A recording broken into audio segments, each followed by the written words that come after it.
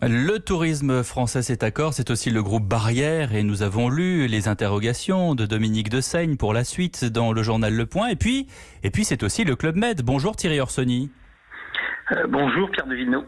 Euh, directeur de la communication du Club Med. Tous les clubs Med actuellement sont fermés?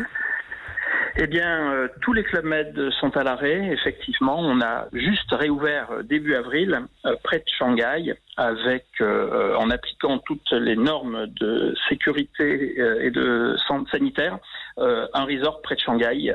mais à part celui-ci, tous les clubs sont fermés. Avec aucune perspective de réouverture, est-ce qu'il y a un espoir d'y voir plus clair avec la réunion sur le tourisme cet après-midi avec les, autorités? Hmm. Écoutez, on est en contact étroit avec les autorités, avec euh, la profession, qui a fait preuve d'ailleurs d'une grande solidarité à l'occasion de cette crise, et des autorités d'eux-mêmes. Euh, mais euh, comme vous, vous l'imaginez bien, on est dans une période avec un manque total de visibilité. Beaucoup de choses dépendent de la situation sanitaire, du point qui sera fait, et de l'envie que les clients euh, auront à un moment ou à un autre de voyager. Et je ne suis pas sûr qu'à l'heure actuelle, euh, ce soit dans leur euh, dans leurs préoccupations quotidiennes et, dans leur état d'esprit. donc pour l'instant, on ne peut pas en dire plus. Quoi.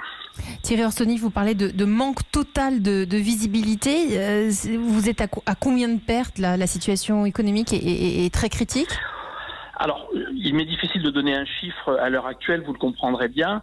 Le, seul point que je peux vous dire, c'est qu'effectivement, euh, les, villages euh, étant fermés, euh, on a quasiment plus de revenus et on a effectivement encore des coûts mm. pour lesquels on a pris des mesures, des mesures importantes, réelles, mais avec effectivement la nécessité du chômage partiel, par exemple?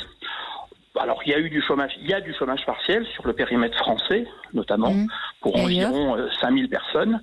Ailleurs, bah, en fonction de la législation de chaque pays, mmh. des mesures qui sont prises pour tenir compte des possibilités qui, sont offertes, et on se rend compte que euh, on a des pays dans lesquels les choses sont en train d'être faites et entreprises qui n'étaient pas avant.